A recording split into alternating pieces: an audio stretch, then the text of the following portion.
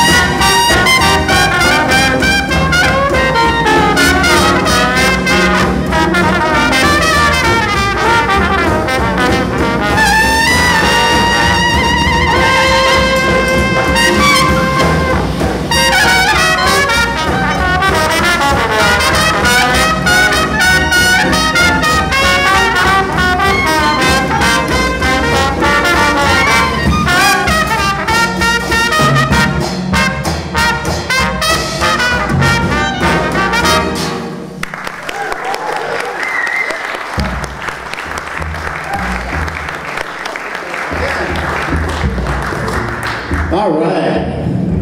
Wow, it's Friday, folks. Welcome to the Sequoia. The first set here for Friday. Uh, we're thrilled to be here. And uh, we're just getting started. We have a whole weekend full of jazz coming up. A lot of great music all over town. So we're happy to kick it off here with our band.